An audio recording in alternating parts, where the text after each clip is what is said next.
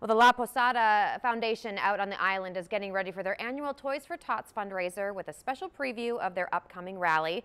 The Island Thunder Rally invites bikers to stop by the Pelican Lounge this Saturday to drop off a toy for kids here in the Coastal Bend. The Indian Motorcycle Club will host the rally starting at Cycle Plaza off of SPID. That's where 100 bikers will take off over the JFK Bridge.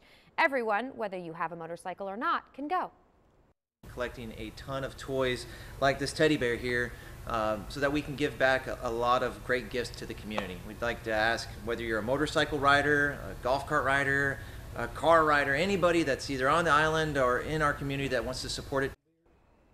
Two Marines will be at the rally Saturday at 1230 to take your donations. This toy drive serves as the first of many before the big La Posada boat parade in December. KIII will be live at the annual parade right here on TV3 on December 8th. Looking forward to that.